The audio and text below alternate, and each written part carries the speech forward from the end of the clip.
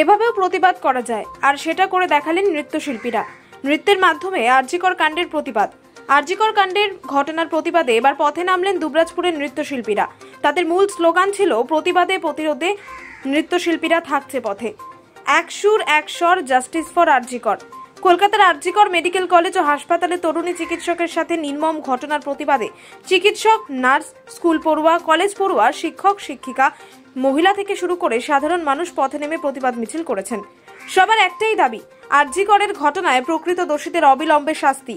এবার দোষীদের শাস্তির দাবিতে পথে নামলেন দুবরাজপুর সুরেশ নৃত্য একাডেমির নৃত্যশিল্পীরা। সন্ধে দুবরাজপুরের সুরেশ নৃত্য একাডেমির পক্ষ থেকে একটি প্রতিবাদ মিছিল বের করা হয়। এই মিছিল দুবরাজপুরের সারদা ময়দান থেকে শুরু করে দুবরাজপুর শহর পরিক্রমা করে থানা মোড় পর্যন্ত পৌঁছায়।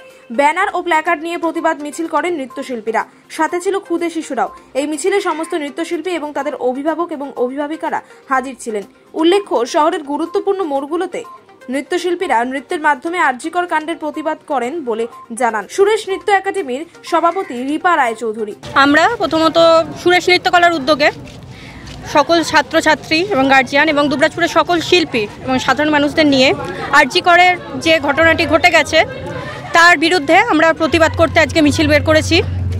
তো আমাদের উদ্দেশ্য, যারা এই দুর্ঘটনাটি ঘটিয়েছে, যারা এই অপরাধ করেছে সেই দোষীদের অবিলম্বে পৈশাচিক কাণ্ডের জন্য পৈশাচিক শাস্তি চাই।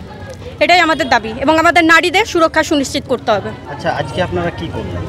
আজকে আমরা প্রথমত প্রত্যেকটা দুবরাজপুরের মোড়ে মোড়ে আমরা আমাদের নৃত্য সংগীত এবং কবিতার মাধ্যমে প্রতিবাদী নৃত্য গান কবিতার মাধ্যমে আমরা প্রতিবাদ জানিয়েছি।